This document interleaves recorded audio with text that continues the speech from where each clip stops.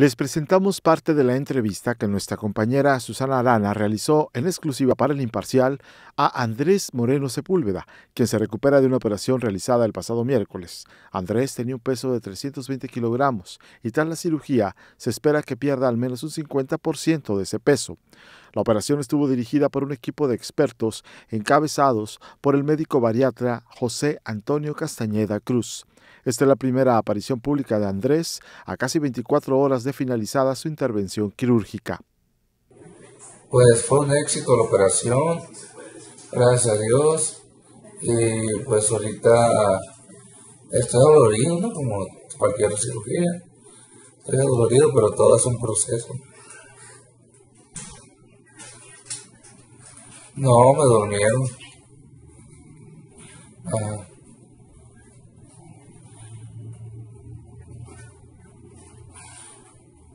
Pues lo primero que vi fue todas las cámaras de, la prensa que están aquí. Y a Carmen.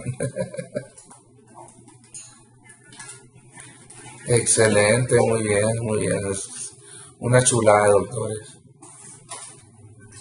Sí, pues me he estado sentando nomás ahorita. Ya esperemos que mañana dé unos pasitos. Pues darle la gracia a la gente y recuperarme, llegando a Obregón, esperar la recuperación. En la edición impresa del viernes y en nuestro portal elimparcial.com encontrará más detalles sobre la recuperación favorable de Andrés Moreno Sepúlveda.